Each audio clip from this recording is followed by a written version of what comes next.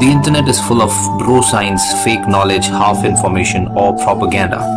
Your quest of reliable, authentic health information ends here. So subscribe this channel and hit the bell icon and you never have to go anywhere else ever again. Which is the best whey protein or protein for a diabetic?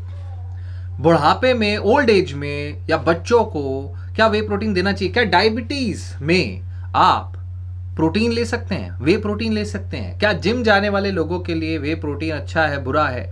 बहुत सारे सवाल घूमते रहते हैं वे protein या protein supplements के बारे में लोगों के मन में। जहाँ पे सबसे बड़ी बात आती है डायबिटीज़ में, लोगों को ब्लड लेवल्स में शुगर लेवल कंट्रोल करने में मुश्किलें होती हैं राइट एक बहुत इंपॉर्टेंट वे शुगर मेंटेन करने का ब्लड शुगर लेवल मेंटेन करने का है डाइटरी चॉइसेस जी हाँ इसमें प्रोटीन इंटेक बहुत इंपॉर्टेंट है। जब एक पर्सन डायबिटीज़ में खाना खाता है तो खाने में बेसिक तीन ही चीज़ें हैं राइट एक diabetic patient type two diabetes में ज़्यादातर लोग मोटे होते हैं। वैसे ही ओल्ड एज में हम ज़्यादातर मोटे हो जाते हैं और अल्टीमेटली हम तीन चीज़ें खाते हैं। Number one is carbs carbohydrate number two is proteins और नंबर थ्री इज़ फैट मतलब जो हम खाते हैं मैक्रो न्यूट्रिएंट्स में, ये तीन ही है उसमें, बाकी माइक्रो न्यूट्रिएंट्स सारे हैं, जो अलग अलग फ़ूड में अलग अलग है। बात ये है कि अगर एक डायबिटिक पेशेंट को ले लें तो उसको ऑब्वियसली शुगर कम खानी है। कार्बोहाइड्रेट कम कार्बोहाइड्रेट मतलब शुगर उसको ऑब्वियसली शुगर कम खाना है तो उसके लिए बचे दो ऑप्शंस यानी दो ऑप्शंस वो ज़्यादा खा सकता है प्रोटीन एंड फैट ऑब्वियसली अगर वो फैट ही खाएगा तो ऑलरेडी जो मोटा है पतला थोड़ी हो जाएगा। How will it lose how will they lose weight right so diabetics को डायबिटिक पेशेंट्स को वज़न कम करना बहुत ज़रूरी है और यही चीज़ बुढ़ापे में बहुत ज़रूरी है। ओल्ड एज में अगर आप वज़न नहीं कम कर रहे हो तो ताकत बढ़ने तो वाली नहीं है, पचास, साठ, सत्तर, अस्सी में सालों में आपकी ताकत बढ़ने तो नहीं वाली है कि इतना सारा वज़न एक्स्ट्रा लेके, पोटी सी तोंद लेके, बड़े से बम लेके बड़े बड़े थाई लेके आप दौड़ते भागते रहोगे। इसीलिए चलना फिरना मुश्किल हो जाता है, इसीलिए सब कुछ कमज़ोरी आने लगती है। और ऑब्वियसली जब कमज़ोरी आती है, जब चल फिर नहीं पाते हो तो इतनी सारे कार्बोहाइड्रेट की ज़रूरत क्या एनर्जी की ज़रूरत क्या है? तो carbohydrate is the energy and fats are the stored energy main चीज़ जिससे आपके बॉडी के अंदर चीज़ें बनती हैं, वो है प्रोटीन। एवरीथिंग फ्रॉम आपके सेल्स के अंदर एंजाइम से लेके हर एक चीज़ प्रोटीन से बनती है। Protein are the building block for skin, nail, bones, blood, hormone, enzyme, antibodies, everything. So अगर ब्लड शुगर मेंटेन करना है तो प्रोटीन इंटेक बढ़ाना पड़ेगा। ना सिर्फ़ उससे आपकी सेटाइटी, यानी आपकी भूख आपको कम लगती है, बल्कि आपका कार्ब इंटेक कम होने से शुगर लेवल कंट्रोल होता है। ये मैं नहीं रिसर्च भी कह रहा है, बल्कि ऑब्वियसली लॉजिक तो है ही। 2003 में रिसर्च हुई थी तो हाई प्रोटीन डाइट में डायबिटीज़ पेशेंट्स को ब्लड शुगर लेवल मेंटेन करने में पाँच वीक के एक बड़े लंबे, पाँच वीक के से रिसर्च में पॉजिटिव माना गया कि वो हेल्पफुल है। 2010 2017 इन सब में सारी स्टडीज़ में टाइप टू डायबिटीज़ में हाई प्रोटीन डाइट बहुत अच्छी मानी जाती है। तो हाई प्रोटीन डाइट का मतलब सिर्फ़ वे प्रोटीन नहीं होता, सिर्फ़ वे प्रोटीन नहीं होता, एक प्रोटीन सप्लीमेंट नहीं होता, लेकिन हाई प्रोटीन डाइट से होता क्या है? बेसिकली वे प्रोटीन भी आपका इंसुलिन सिक्रेट करते हैं। जी हाँ इंसुलिन सिक्रेट करते हैं और नॉर्मल बॉडी वेट और ट्राइग्लिसराइड लेवल्स को भी मैनेज करते हैं। बॉडी वेट कम करते हैं इंसुलिन सिक्रेट करते हैं। तो ग्लूकोज लेवल ग्लूकोज नहीं आ रहा है, लेकिन इंसुलिन बढ़ रहा है तो इंसुलिन काम करेगा। ग्लूकोज लेवल कम होते हुए देखे जाते हैं। So that is a very good thing ना obviously whey protein is an easier way जो लोग खासकर वेजिटेरियन है। वेजिटेरियंस को it's it's different it's difficult क्योंकि वो प्रोटीन पूरा नहीं कर पाते। अगर आप ज़्यादा से ज़्यादा हाई प्रोटीन फ़ूड वेजिटेरियंस के लिए देखेंगे तो दाल है।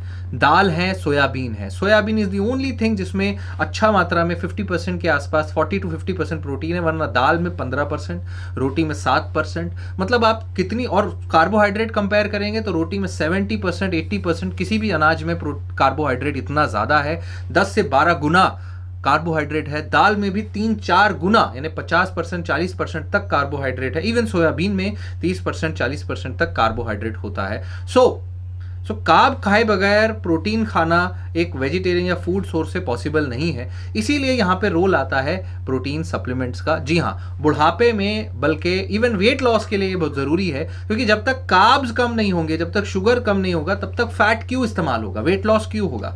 राइट डायबिटिक्स पेशेंट हो या नॉन डायबिटिक हो, मोटे हो या पतले हो, बुढ़ापे में हो या जवान हो या बच्चे हो, जब तक कार्ब कम नहीं होंगे, जब तक फैट रहेगा नहीं, कम नहीं तो फैट यूटिलाइज कैसे होगा?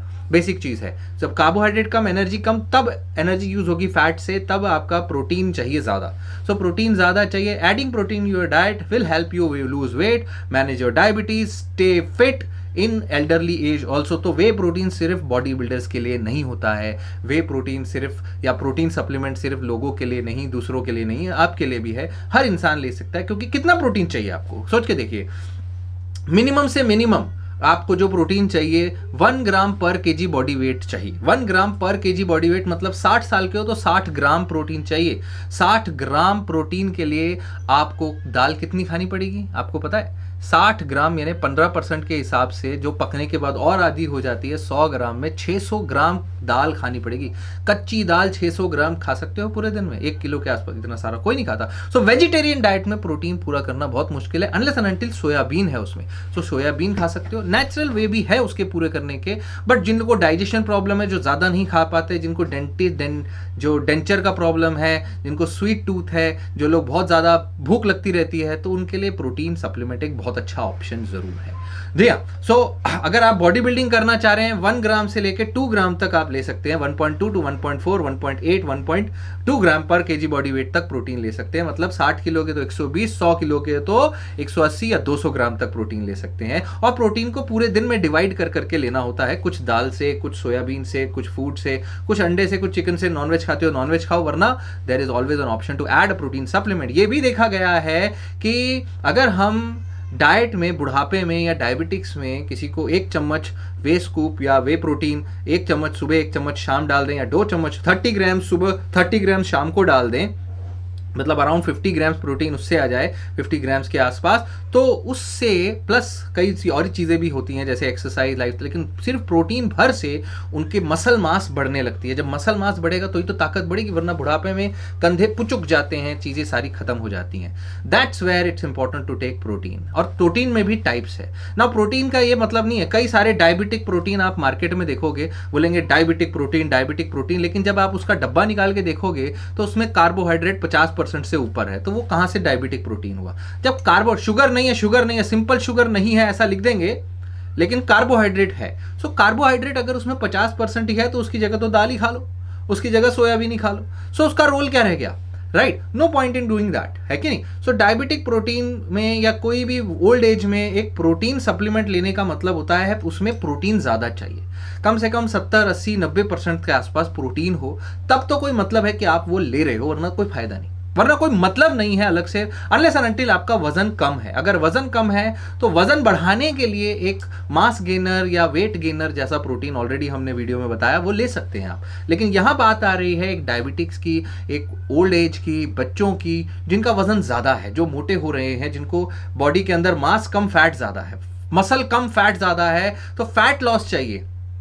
फैट लॉस चाहिए डायबिटिक कंट्रोल चाहिए तो protein powder is a good option let me introduce you to this absorb nutrition का है ये raw whey isolate plus raw whey isolate plus 90 percent protein है इसमें।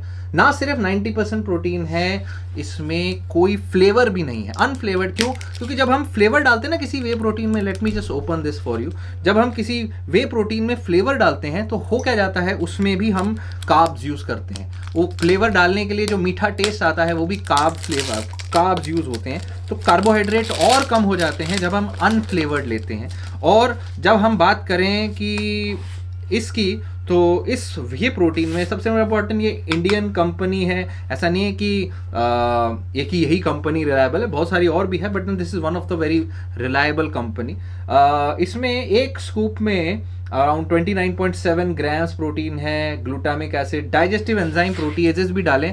किसी किसी को डाइजेशन में इशू होती है खासकर ओल्ड एज में या या फिर आ, किसी को हो सकते हैं इशू डायबिटिक पेशेंट्स को बच्चों को।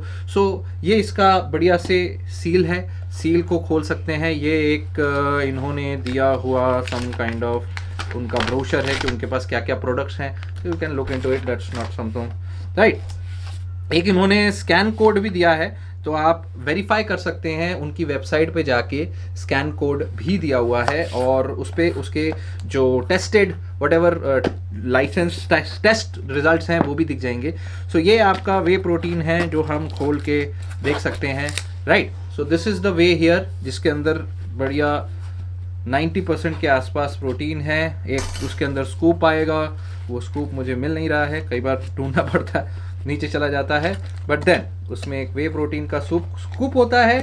एक, उस स्कूप से आप वे प्रोटीन को यूज़ कर सकते हैं। द पॉइंट इज़ कि इसमें, थोड़ा सा ऐसी टेस्ट करके देख लेते हैं। हम्म बिल्कुल अनफ्लेवर्ड बिल्कुल फीका। क्यों? क्योंकि डायबिटीज़ के लिए, क्योंकि मोटापे के लिए। देखो टेस्ट डालना है तो टेस्ट आप खुद डाल सकते हो।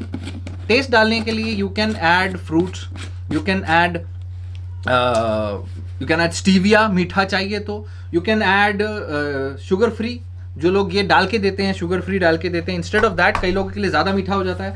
आप इसको फीका ले सकते हो. So whey protein isolate isolate is the best type of whey protein ये कंपनी के बारे में आप पढ़ सकते हैं. अच्छी खासी डिटेल्स uh, हैं. और कंपनी uh, की इस डब्बे पे लिखी हुई.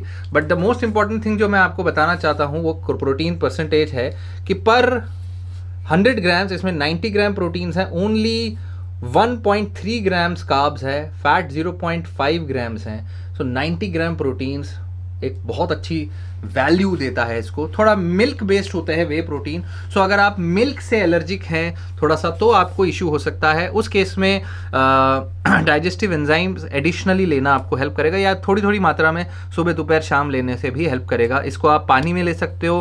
अगर दूध से एलर्जी नहीं है तो दूध में भी ले सकते हो। एडिशनल फ्लेवर डाल सकते हो। It's a good addition to anybody जिसको एक प्रोटीन सप्लीमेंट चाहिए। अनफ्लेवर्ड uh, तो है ये जो बेस्ट है मेरे हिसाब से। अनफ्लेवर्ड और isolate 90 percent one of the best इसमें फ्लेवर वाले भी आते हैं चॉकलेट फ्लेवर फ्लेवर्स जाके ऑनलाइन देख सकते हो।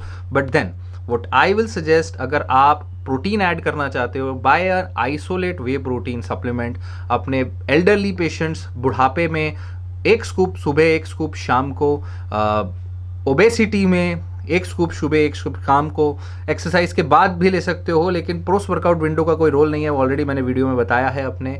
ज़रूर जाके सारे वीडियोस चेकआउट करिए। इसका लिंक मैं नीचे डाल दूँगा।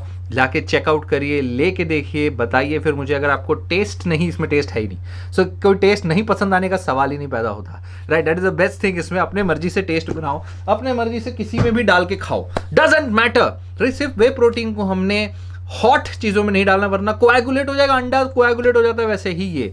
So this is all about it I hope you like the video I hope you like the product yes this is all about it thank you so much stay connected stay healthy.